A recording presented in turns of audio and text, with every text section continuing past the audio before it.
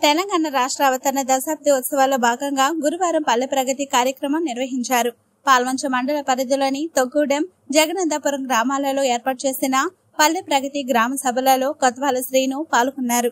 ఆయా గ్రామాల్లో ముందుగా పంచాయతీ కార్యాలయాల ఎదుట సర్పంచులు జాతీయ పథకావిష్కరణ చేశారు. డంపింగ్ యార్డుల వద్ద తడి చెత్త పొడి చెత్త వేరు చేయు విధానం పారిశుద్ధ్యం గురించి ప్రజలకు వివరించారు.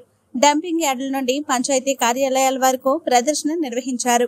ఈ కార్యక్రమంలో ఎంపీపీ మడవి సరస్వతి తొగ్గూడు సర్పంచ్ బాధవతి శాంతి జగన్నదపురం సర్పంచ్ బానోద్ అనిత వివిధ శాఖల సిబ్బంది మహిళలు ప్రజలు పాల్గొన్నారు